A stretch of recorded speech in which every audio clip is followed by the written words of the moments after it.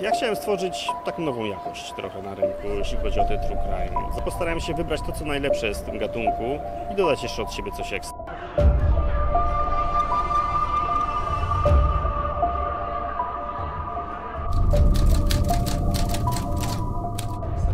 Przemysław Piotrowski, były dziennikarz sportowy, a potem śledczy.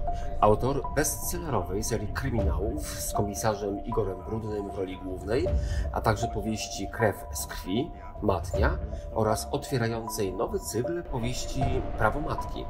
La Bestia to jego pierwsza książka łącząca elementy true crime i reportaży.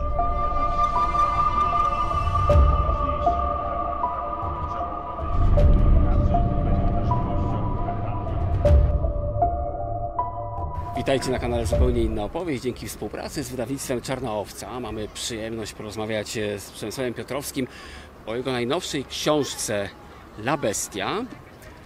No właśnie, La Bestia. Nie wymieniłem słowa powieść, bo to nie jest powieść, to jest pierwsza w Twoim, w twoim dorobku książka no, reportażowa tak naprawdę. E, Skąd e, pomysł, żeby ten niełatwy temat rzeczywiście ugryźć właśnie w ten sposób? Yy, No tak naprawdę to się zaczęło od przypadku, bo byłem na wakacjach yy, na Karaibach i, i pamiętam jeden raz włączyłem telewizor w pokoju hotelowym i akurat leciał reportaż o Luisie Garavito. Ja oczywiście wiedziałem, kim, kim on był, yy, jak się okazało później bardzo pobieżnie, natomiast no wiadomo, z racji tego, że jestem pisarzem kryminałów, to gdzieś tam te moje zainteresowania orbitują też wokół seryjnych morderców.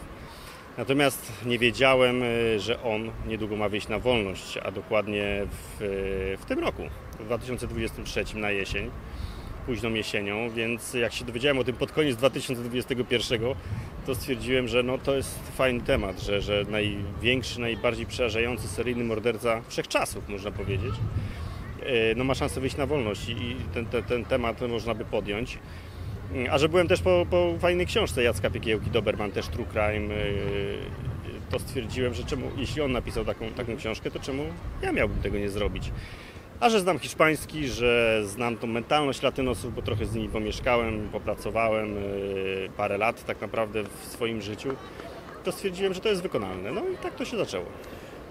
To jest, bo mówisz o tym, że y, najbardziej chyba, y, najgroźniejszy tak naprawdę przestępca y, seryjny tego, tego rodzaju, y, mówisz, że trochę o nim wiedziałeś, ale to nie jest wiedza powszechna. Tak naprawdę Luis Garavito to jest nazwisko y, no, niefunkcjonujące tak naprawdę w naszym takim powszechnym obiegu. To jest nazwisko praktycznie w Polsce nieznane.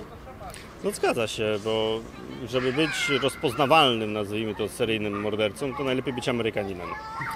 E, Bo tam to się sprzedaje, tam, tam ludzie e, tak naprawdę to na swój sposób lubią tak, słuchać, czytać o nich, oglądać ich.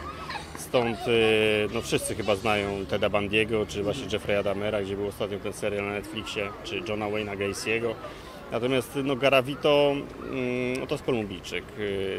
Do tego morderca młodych chłopców.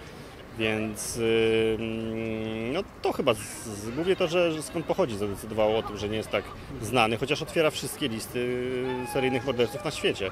Jest jakby numerem jeden absolutnym, bo, bo gdyby tak zebrać wszystkich tych amerykańskich znanych seryjnych morderców do kupy, to pewnie nie mieliby nawet połowy ofiar Garavito. No i pomyślałem, że, że jeżeli już się zabierać za true crime, to od razu z grubej rury. A że mówię, no mam tą przewagę, że, że, że, że, że znam ten język, znam tą mentalność latynoską i tak dalej, i tak dalej, więc zdecydowałem się, że, że, że spróbuję, pojadę do Kolumbii i napiszę o nim książkę. No właśnie, pojadę do Kolumbii. To jest y, tak naprawdę y, kluczowe stwierdzenie, bo ty podszedłeś do tego reportażu, do, tej książki True Crime w bardzo poważny sposób. Y, to nie jest tak, że oparłeś się na istniejących dokumentach, tylko tak naprawdę pojechałeś tam, chciałeś te miejsca zobaczyć, zobaczyłeś wiele z tych miejsc. No to kosztowało cię też wiele, wiele nerwów i wiele sytuacji takich, y, no powiedzmy ryzykownych. No tak, ale wiesz, ja nie wyobrażam sobie inaczej, żeby podejść do takiego tematu z pozycji kanapy i tam poszukać sobie coś w internecie i, i napisać książkę.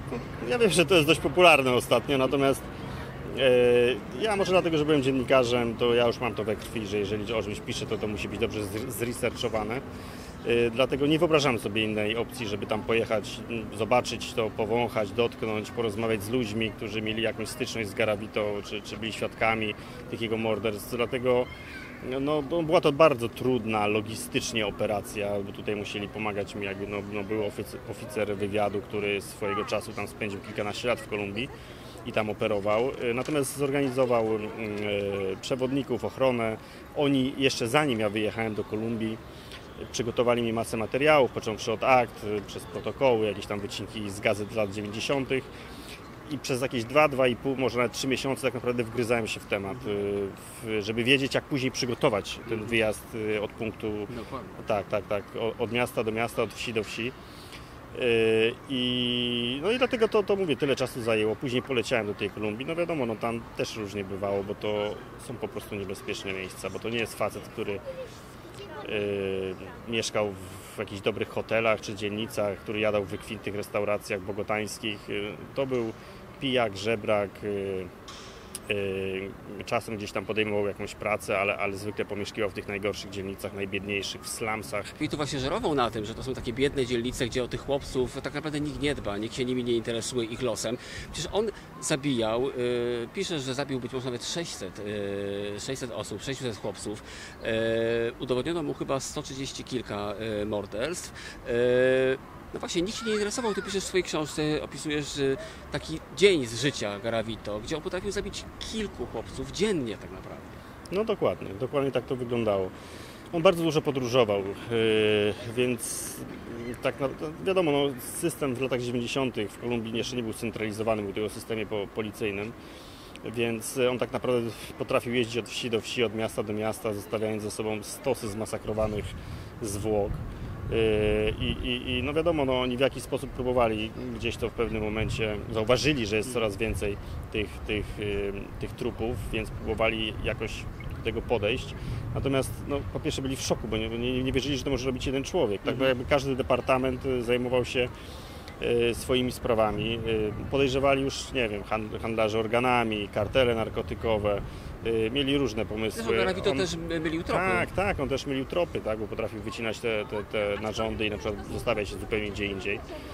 Y, Świetnie się przebierał, bo, bo ka- kamuflował, tak, jak kameleon był, bo potrafił raz zabrać, przebrać się za księdza, raz za jakiegoś, nie wiem, człowieka z fundacji charytatywnej, czym też jakby łapał te dzieci dużo łatwiej, bo, Za- bo były bardziej budził. ufne. Tak, budził zaufanie. Yy, dlatego no, tak trudno było go złapać, ale tak mi się wydaje, że głównie też dlatego, że skupiał się właśnie na tej, na tej biedocie, na tych, na tych biednych dzieciach, które, które tak naprawdę nikogo nie obchodziły.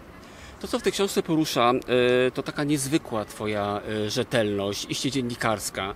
Y, Ty masz doświadczenie dziennikarskie, więc to wcale nie dziwi. To jest książka, która przeplata elementy prozatorskie, literackie z Twoim dziennikiem, w którym rzetelnie, krok po kroku wyjaśniasz, co jest w tych materiałach, w tych y, tekstach literackich prawdą, a co jest również prawdą, ale być może y, podkoloryzowaną lub y, być może w jakimś wątku wrzuciłeś coś, co się rzeczywiście mogło zdarzyć, a nie ma na to dowodów. Natomiast w każdym momencie to bardzo rzetelnie y, wyjaśniasz. Ja po prostu mam to we krwi, no bo ja nie wyobrażam sobie napisać książki, gdzie coś sobie na wymyślałem, nie byłem pewien i stwierdziłem, a może tak było, dobra, zrobimy tak. Ja chciałem stworzyć taką nową jakość trochę na rynku, jeśli chodzi o te true crime. Zależało mi na tym, żeby napisać książkę, którą, mm, którą będzie mógł czytać w zasadzie każdy, bo wiesz jak to jest, czasami te, te true crime, jeżeli jest bardzo takie typowo podejście reportażowe, to ona może być momentami nużąca. I takie też miałem wrażenie, jak czytałem niektóre z nich. Dlatego ja postarałem się wybrać to, co najlepsze jest w tym gatunku i dodać jeszcze od siebie coś ekstra. Myślę, że wyszło fajnie, bo, bo tam, gdzie rzeczywiście są te fragmenty fabularyzowane y, i czasami musiałem dodać coś od siebie, zwłaszcza w tych y, jakby pierwszych rozdziałach, gdzie, gdzie to wszystko się zaczyna jeszcze zanim on się urodził, później w czasach jego dzieciństwa, no, które tak naprawdę nie są dobrze udokumentowane. Z czasem y, już, już jakby trzymam się bardzo, bardzo ściśle faktów. E, Ale jeżeli rzeczywiście gdzieś coś dodałem od siebie, ja to zawsze zaznaczałem w tej części, to się nazywa migawki z podróży, tak? E, gdzie mm, no oprócz tych, tych, tych moich powiedzmy takich wrażeń z podróży wrzu- wrzucałem też, nie wiem, rozmowy ze świadkami, jakieś tam y, wypowiedzi z protokołów, czy to Garavito, czy, czy, czy ludzi czy mm, z nim związanych w jakiś sposób z całą sprawą. No tak więc starałem się zrobić to jak najbardziej rzetelnie, uczciwie, yy, no i tak, żeby nikt mnie nie zarzucił, że, że, że, że sobie coś wymyślam, albo że pisałem to właśnie z perspektywy kanapy.